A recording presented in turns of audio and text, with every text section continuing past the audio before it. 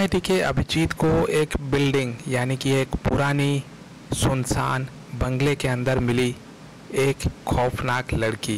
और ये जो लड़की है, ये अपने आँखों से ही अभिजीत को हिप्नोटाइज करने में कामयाब हो जाती है।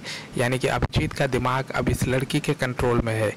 ये लड़की जो चाहेगी, अभिजीत वही करेंगे। लेकिन अभिजीत आखिर वहाँ पर पहुँचे कैसे? सीआईडी के सीज़न टू के कौन से एपिसोड में हमें यह सीन देखने को मिलेगा? क्या अभिजीत इस लड़की के हिप्नोटिज्म से कभी बाहर आ भी पाएँगे या नहीं? तो दोस्तों दिल थाम के बैठिए और इंतज़ार करिए सीआईडी के सीज़न टू के इस रोमांचक एपिसोड का, जहाँ पर ये जो लड़की है, ये लड़की अभिजीत को अपने हिप्नोटिज्म के जाल में फंसाने वाली है और अभिजीत की ज़िंदगी भी काफ़ी बड़ी खतरे में है। ये जो लड़की है दोस्तों, ये अभिजीत से अपना कुछ काम करवाना चाहती है और इसीलिए ये अभिजीत की आँखों में देखती है। इसके बाद अभिजीत हिप्नोटाइज हो जाते हैं। अभिजीत ये भूल जाते हैं कि वो कहाँ पर गए हैं, किस काम के लिए गए हैं और क्यों गए हैं।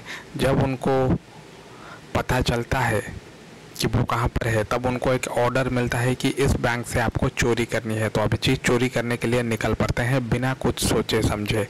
अब देखते हैं अभिजीत को इस हिप्नोटिज्म से कौन बाहर निकलता है।